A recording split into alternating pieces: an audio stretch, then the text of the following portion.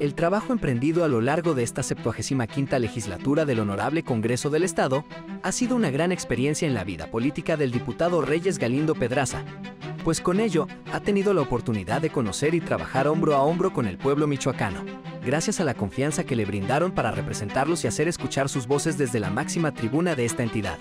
Con ese compromiso y siendo respetuoso con las instituciones, el diputado Reyes Galindo le rinde hoy cuentas a la ciudadanía con su tercer informe de actividades legislativas en el que destacan temas como el fortalecimiento de un marco jurídico que proteja y propicie el desarrollo integral de mujeres, niñas, niños y adolescentes, adultos mayores, campesinos y productores, jóvenes, personas sin hogar, emprendedores, profesionistas y las familias de escasos recursos que necesitan con urgencia que sus problemáticas sean visibilizadas y atendidas, así como gestiones permanentes, herramientas y apoyos para la mejora de condiciones de vida de las familias del Distrito 22. En cuanto a la actividad parlamentaria, Reyes Galindo presentó 19 iniciativas de ley y una propuesta de acuerdo, lo que representa 50% de la producción legislativa del grupo parlamentario del Partido del Trabajo. Dichas iniciativas fueron para brindar atención integral a niñas, niños y adolescentes que hayan sufrido quemaduras, misma que fue aprobada en el Pleno, para despenalizar el adulterio, apoyar económicamente a jóvenes emprendedores, adaptar los programas de educación a la realidad social de cada región,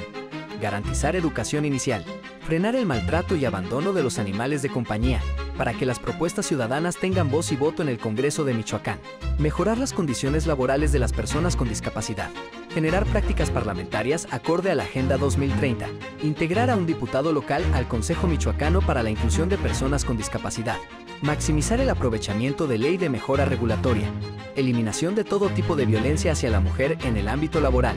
dar certeza jurídica al patrimonio digital, contemplar el derecho a los cuidados a nivel constitucional, impulsar programas para combatir la obesidad, aprovechar el potencial agroalimentario del Estado, incorporar perspectivas y opiniones del sector sindical en el Consejo Consultivo para el Desarrollo del Estado, dotar de mayor capacidad institucional a los ayuntamientos y consejos municipales. Además, uno de los mayores logros durante este último año legislativo fue haber aprobado el acuerdo para la creación de un fondo destinado a la atención y tratamiento de niñas, niños y adolescentes michoacanos con quemaduras que se encuentran hospitalizados en la CDMX. También desde la Comisión de Régimen Interno y Prácticas Parlamentarias se cumplió el objetivo de presentar el proyecto de la nueva ley del Poder Legislativo,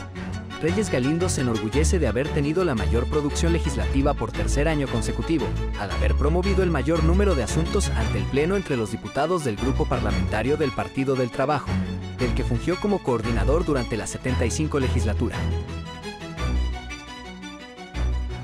He esforzado por hacer política de la que demanda sensibilidad y compromiso. Esa fue una de las muchas ideas que propusimos en la campaña del 2021, pero también en el proceso de 2024. Romper con esta imagen del legislador que solo se deja ver en tiempos electorales, nada más cuando necesita los votos. Nosotros dijimos que estaríamos presentes, que regresaríamos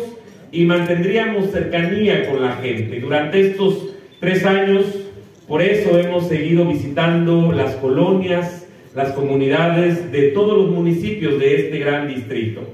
Hemos entendido que lo más conveniente, pero también lo más humano, es mirar, atender y caminar siempre acompañados de la gente. Es sin ninguna duda para quienes integramos parte del proyecto de la Cuarta Transformación, el pueblo nuestro mejor aliado por el pueblo estamos aquí y a él debemos servir primero. Hay que confiar siempre en la voluntad del pueblo porque éste no se equivoca. Incluso los que estamos aquí, todas y todos, somos pueblo. Y en el distrito 22, que represento, la carga de responsabilidad es muy grande, porque ahí, en esta región, el proyecto de la cuarta transformación ha recibido el mayor apoyo, el más contundente y arrasador del pueblo, el más grande de todo Michoacán. Aunque hay algunos, incluso compañeros del proyecto, que todavía no les termina de gustar o no lo quieren aceptar, ha sido esta región, la nuestra, la que ha dado los triunfos electorales al proyecto que hoy gobierna en Michoacán. Y lo que hoy estamos informando aquí es posible gracias a la participación ciudadana. Por eso siempre he de reconocer y estar agradecido con los pueblos hermanos de la Tierra Caliente. Con el presidente López Obrador y el gobernador Ramírez Bedoya, junto a los presidentes municipales, hemos hecho parte de nuestra tarea y desde ahí hemos sentado las bases para un mejor Michoacán. Lo que hasta hoy hemos logrado demuestra nuestro compromiso y nuestro trabajo.